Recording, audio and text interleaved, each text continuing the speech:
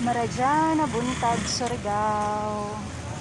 Good morning Philippines and good morning world. Today, Sunday, we're going to church. I'm wearing mask and shield because I'm going to church. And since not yet, I'm gonna show you our church, the San Nicolas de Tolentino Cathedral, and some protocols bago ka makapasok ng simbahan. So, the mass will start na um, 11 a.m. and time check it's 12.30 so I have still time here. So let's go. Our church. I am a Catholic and it is our church. Um, San Nicolas de Tolentino Cathedral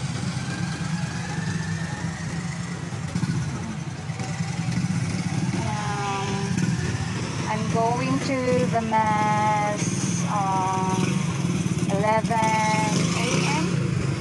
There's a schedule of think 6 a.m., 9 a.m., 11 a.m., 2 p.m., 4 p.m., and 6 p.m. The masses, so you choose. So they have the guidelines here. You need to wash your hands, wear masks and shields. You need to fill up papers, your details, and those other sides there is the entrance, and that and the front door is the exit only, so that we can still follow the physical distancing.